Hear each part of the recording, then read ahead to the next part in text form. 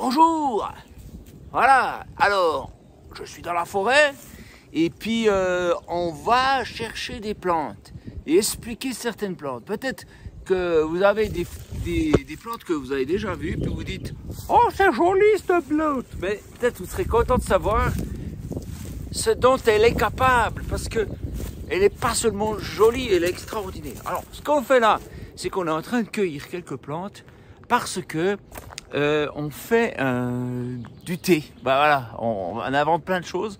On fait une sorte de tisane pour le mettre dans un collector qui permettra de sortir le livre Rendez-vous dans la forêt 4. C'est pour ça qu'on est là. Et pour ça, j'ai ma fille qui m'aide, qui est là. Elle est chou, hein Elle est tellement chou. Et j'ai Rémi, Rémi qui euh, est notre spécialiste d'aujourd'hui là. Hein, puis que, voilà, salut Rémi. Hello. Voilà, toujours très loquat.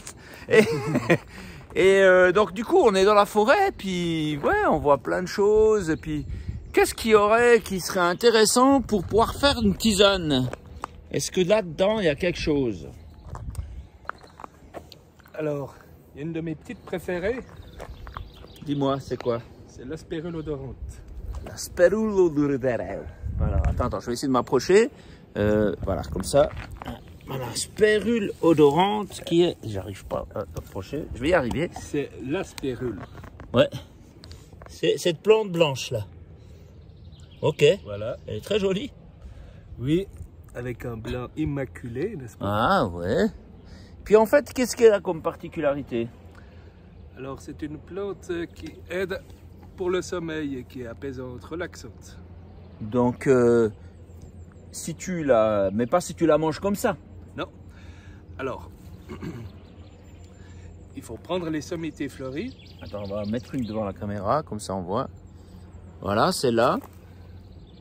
Les sommités, c'est-à-dire en haut, ce qui est blanc, quoi.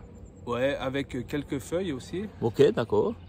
Et ensuite, c'est important que le séchage se passe bien, pour que ce soit efficace. Ah ouais?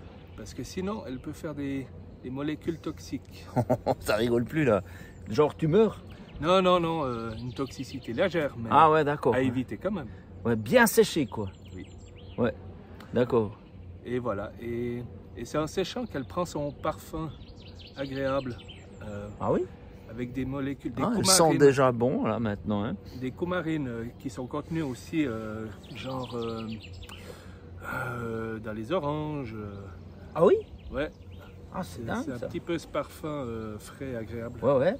Non, c'est vrai, il y a un petit côté. euh, moi, j'ai eu des un, un, un mandarinier et ça sentait bon quand il y a des fleurs.